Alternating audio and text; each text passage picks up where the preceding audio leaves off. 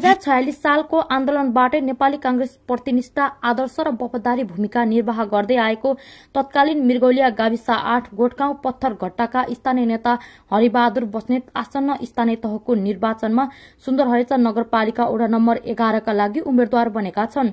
नेपाली कांग्रेसको किल्लाको रूपमा स्थापित हुँदै सुन्दरहरेचा नगरपालिका यसपटक पनि पुनः शिवप्रसाद ठकाललाई मेयर पदको उम्मेद्वार बनाएको छ भने उपप्रमुखमा नवराज चापागाईलाई अगाडि सारेको छ। कांग्रेसको विरासत कसरी जोगाउने भन्ने सन्दर्भमा कांग्रेस यति बेला चुनावी मैदानमा खरो उत्रिएको छ। सोही अभियानमा ओडा एघारका ओडाध्यक्षका उम्मेद्वार हरिबहादुर बस्नेत पनि लागेका छन्। त्यसो त बस्नेतले आफ्नो ओडाको विकास र समृद्धिका लागि पच्चीस बुद्धे घोषणा पत्र नै जारी गरेका छन्। बस्नेतले ठूलो योजना फन्दा पनि गाउँघरका साना साना विषयलाई एउटा ओडा सञ्चालनको प्रणालीमा लाग्न सकियो भने ठूलो योजना त्यहीबाट पूरा हुने अपेक्षा समेत गरेका छन्।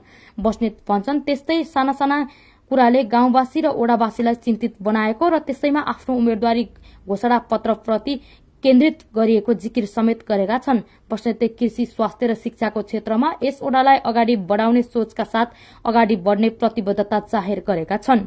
म नेपाली काङ्ग्रेस वडा नम्बर एघारबाट वडा अध्यक्षको उम्मेद्वार यहाँ सम्पूर्ण वडावासी दाजुभाइ तथा दिदीबहिनीहरूलाई म प्रतिबद्धता तथा अपिल यो गर्न चाहन्छु कि घटैलो कार्यक्रममा दौडिरहँदाखेरि आवश्यकता अनुसारका कुराहरूलाई जनताका समस्याका कुराहरू अत्यन्त साना साना कुराहरूबाट ग्रसित साना साना कुराहरूले गाउँघरका बासिन्दाहरूलाई अति चिन्तित र दुखित बनाएको कुरा मैले बुझेको छु।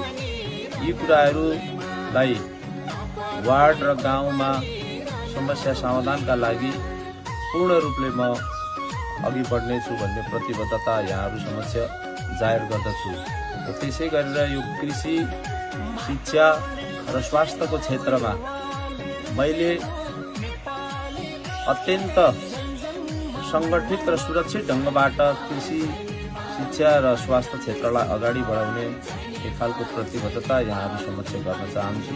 किसानलाई मल बिउ र सिंचाई सुविधा उपलब्ध गराउने कृषि उपजका किसानबाट खरिद गर्न सहकारीहरूसँग समन्वय गर्ने उल्लेख पनि गरेका छन्। संकल्प पत्रमा ओडाका सबै विद्यालयमा बालमैत्री शिक्षण पद्धति लागू गरिने तथा दलित आदिवासी जनजाति तथा अति विपन्न परिवारलाई निशुल्क शैक्षिक सामग्री दिइने उल्लेख समेत गरेका छन्।